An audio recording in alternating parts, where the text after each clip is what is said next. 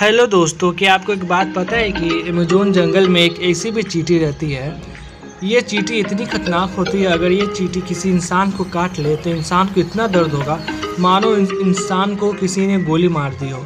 इस चूटी का नाम बुलेट एंट है।